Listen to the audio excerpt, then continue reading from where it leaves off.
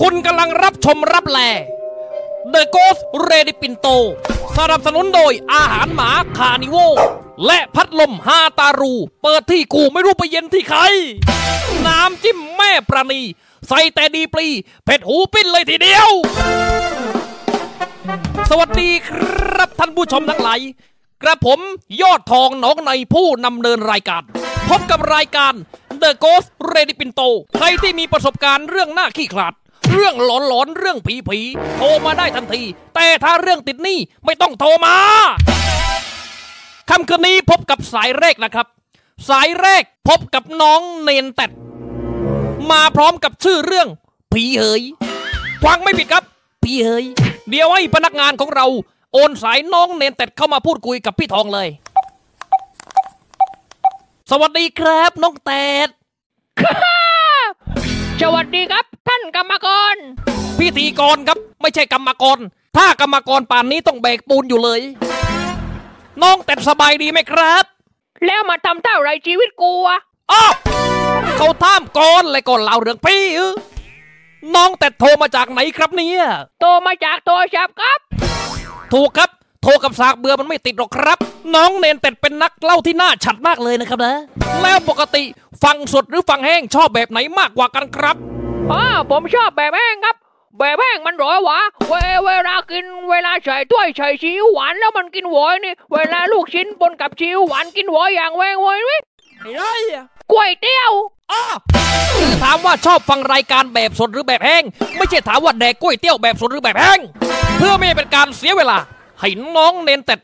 เริ่มเข้าเรื่องได้เลย เชิญครับกับเรื่องพี่เอ๋ยมันเป็นยังไงครับน้องเนนเป็ดฮัลโหลครับได้ยินไหมครับพี่ดอง เออเออได้ยินครับได้ยินครับน้องฮัลโหลฮัลโหลได้ยินไหมครับ ได้ยินครับได้ยินครับฮัลโหลฮัลโหลฮัลโหลว้าวว่าได้ยินออกมาแล้วคอยแหกแล้วพิธีกรครับคือเรื่องนี้มันเกิดขึ้นกับผมเมื่อตอนประมาณ 30 ปีที่แล้วครับ แล้วตอนนี้น้องเนเต็ดอายุเท่าไหร่ครับ12ครับโอ้โหเออต่อเลยครับ คือวันเนี้ยครับพี่ดอง คือผมมันไปท่องเที่ยวกับพ่อไงไปสถานที่ท่องเที่ยวแห่งหนึ่งทางภาคใต้เออน้องไม่ต้องระบุชื่อจังหวัดนะครับ สถานที่นี่พี่ขอเงียบเลยนะ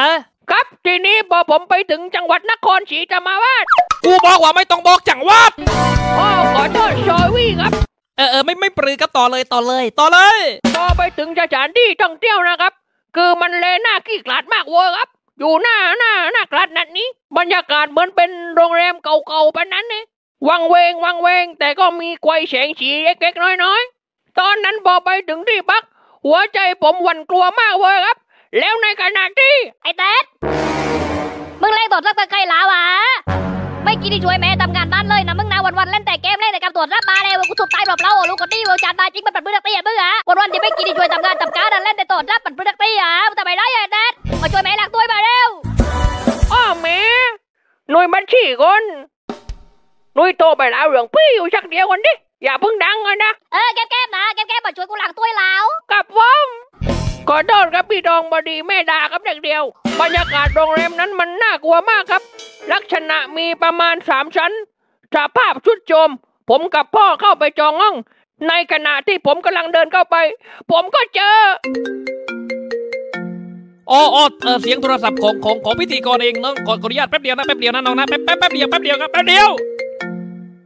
ไรโตมาเหลาป่านนี้ไม่รับไปนอนทีฮัลโหลฮัลโหลถึงเบอร์งวดนี้อีกสื่อมาสิกาเบอร์งวดแล้วก็ไม่ใช่ทีนะมึงไอ้ซอง